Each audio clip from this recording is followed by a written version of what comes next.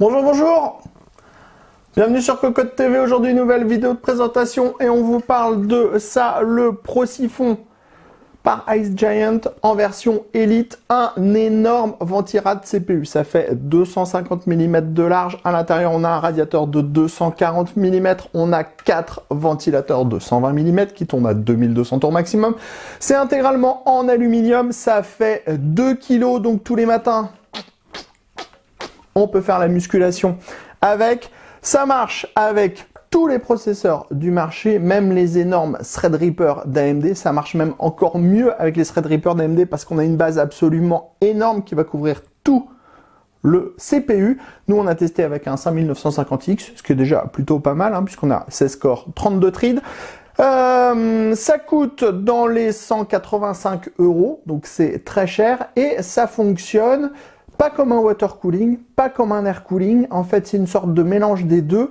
Sans aucune pièce mécanique, sauf pour les ventilateurs. On a un liquide diélectrique, hein, on va vous en parler plusieurs fois, qui change de phase. Il est liquide, ça chauffe, ça change de phase, ça passe à l'état gazeux, ça fait son petit tour dans le radiateur, c'est refroidi, ça se retransforme en liquide, ça retombe dans la base, ça reprend de la chaleur, ça change de phase, ainsi de suite, ainsi de suite, ainsi de suite, ainsi de suite. Allez-y, on vous propose de le découvrir, c'est tout de suite, c'est maintenant, c'est sur Cocotte TV, c'est énorme. On se lance donc à la découverte de ce Pro Siphon. Sachez que dans le bundle, vous aurez aussi deux ventilateurs additionnels à placer devant on est sur un radiateur qui est en 240 mm. Bon, en tout, ça fait 251 mm de largeur sur 164 mm de hauteur. Et au niveau euh, de la profondeur, on est sur 103 euh, mm. Au niveau du poids, on est sur 2 kg 10 grammes. C'est énorme. C'est vraiment très très lourd. C'est même tellement lourd à l'arrière que vous voyez, ça bascule très facilement euh, vers l'avant. Alors, au niveau du ventirad, en lui-même, sachez que les finitions sont absolument superbes, la peinture est très bien appliquée, les assemblages sont excellents. Les ventilateurs, c'est du Arctic Cooling à l'intérieur, donc du ventilateur de qualité qui ne fera pas de bruit en 5 volts et qui sera capable de turbiner à fond. Euh, précisément, ce sont des P12 à l'intérieur. Ensuite, au niveau du ventirad, ce qui va être intéressant, c'est de savoir que ce système, eh bien, c'est ni un water cooling ni un air cooling avec des heat pipes ou des caloducs. C'est un autre système qui est utilisé. On a un liquide diélectrique à l'intérieur qui est caloporteur qui va changer de phase quand il va chauffer, donc il va devenir gazeux, il va remonter à l'intérieur ici, il va être refroidi par le radiateur et les ventilateurs, et ensuite ça va redescendre, et ainsi de suite. Il n'y a pas de pompe, il n'y a pas de système mécanique, c'est totalement hermétique, aucun risque de fuite, aucun risque de perte de liquide dans le temps. Bref, c'est une solution absolument géniale. Euh, au niveau du ventirad en lui-même, donc on a deux ventilateurs en extraction à l'arrière ici, donc des, euh, des P12 rebadgés. À l'avant, on va retrouver les deux mêmes ventilateurs et ici on a la base. La base elle est relativement épaisse, ça fait 1 cm d'épaisseur. On a le système de fixation avec deux vis, attention, 2 kg. Alors on se dit qu'il faut mieux avoir un super système de fixation. Vous allez voir plus tard qu'on a un super système de fixation avec une énorme plaque en métal hyper épaisse et avec le renfort qu'il y a à l'arrière sur la M4 ou alors le Threadripper, ça ne craindra strictement rien, même si c'est absolument colossal et énorme. Que vous dire de plus? Euh, Sur le dessus, on va retrouver un petit logo Ice Giant légèrement brillant bleu. C'est assez joli, c'est mignon. On n'a pas de RGB, tout le reste est noir, rien d'autre à vous dire. On va installer tout de suite les deux autres ventilateurs de 120 mm qu'on vous montre à quoi cela ressemble. Voilà, maintenant on a monté les deux ventilateurs, vous pouvez vous rendre un petit peu plus euh, compte de la taille de la bête avec ces quatre ventilateurs. Sachez que les quatre ventilateurs tourneront au maximum à 2300 tours, donc c'est de la bonne grosse turbine. Ensuite, on va vous parler un petit peu euh, de la base. Donc la base, elle est en aluminium, elle est assez bien travaillée. Alors on a déjà testé hein, notre processeur dessus, c'est pour ça qu'on a la marque de notre processeur. Euh, c'est assez lisse, on a quand même les marques d'usinage. Sachez que dans le bundle, on a de livrer de la pâte thermique Thermal Grizzly Cryonaut. Donc autant dire qu'on a de la très bonne base thermique, de la très bonne, pâte thermique, pardon. Et euh, on vous disait que ça pesait 2 kg et c'est juste 2 kg entièrement d'aluminium. Donc c'est juste un énorme bébé qui vous pourra, qui pourra vous servir à faire de la musculation. Allez, on continue notre découverte de ce Pro-Siphon. Voilà maintenant notre Pro-Siphon Elite monté sur notre carte mère, une X570 Taichi Razer Edition. Vous le voyez, il est énorme. Tout à l'heure, juste dans 3 minutes, quand on va passer avec la carte graphique, c'est plus gros que la carte graphique. Par contre, une chose est à dire, on a un système de fixation ici qui est absolument énorme, colossal, super efficace, super rapide à installer. Donc on utilise la backplate qui est en dessous, hein. la backplate elle est bien costaud chez AMD.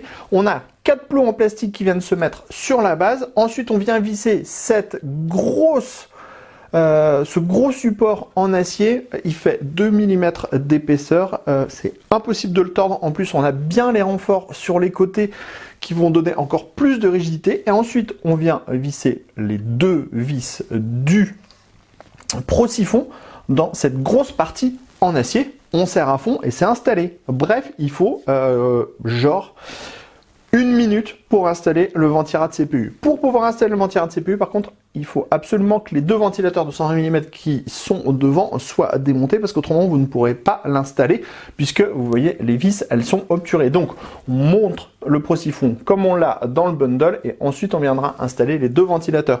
On a aussi de la très bonne pâte thermique qui est livrée avec. Hein. On a de la, euh, de la Thermal Grizzly. Euh, Thermal Grizzly qu'on a utilisé dans tous les autres tests en même temps pour pouvoir comparer euh, sur une base efficace. Bref, c'est gros, mais c'est facile à installer et on a surtout euh, une fixation qui est vraiment très solide. Franchement, on n'a pas du tout peur d'installer un truc de 2 kg sur la carte mère parce que quand on voit le système de fixation, on est tout de suite rassuré. Ensuite, avant de découvrir le Pro-Siphon en route, un petit mot sur comment ça fonctionne.